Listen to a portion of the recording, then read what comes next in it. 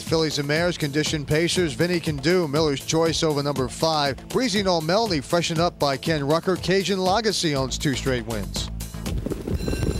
They're off at late rose. Cannons from the outside with Dubé. Count me in. And Breezy Noel Melny. Vinny Can Do on the rail moves up fourth around the first turn. For post 10, it's late rose. Late rose right to the top, swooped down and took over by two. Count me in.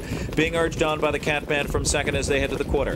Breezy Noel Melny settles in third. Vinny Can Do is fourth with Cajun Legacy getting some whip urging there in fifth. Q&A, sixth on the inside by the quarter. Then it's Four Stars, eight, followed by Nels Bells and Windstorm at the back. Glen Willow Lady, 28 and 1. Barry game first over, late Rose. late Rose locked in the box was Count Me In and looking for room, and Cat, the Catman has a seam now. Four stars hit on the outside, trying to come on, battling back on the rail. Vinny can do in deep stretch. It's late Rose up on the outside. Four stars hit. four stars hit on the far outside, gets it. Four stars hit. Two in a row for Morrill again from off the pace, which is not this mare's usual game, but she showed versatility here in edging an ultra game late Rose, who has proven she belongs.